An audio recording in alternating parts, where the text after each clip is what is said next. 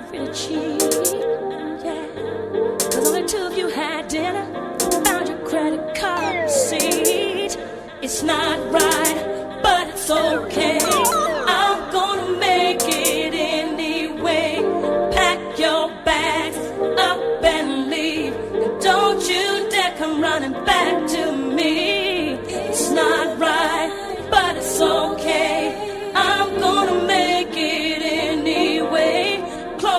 behind you.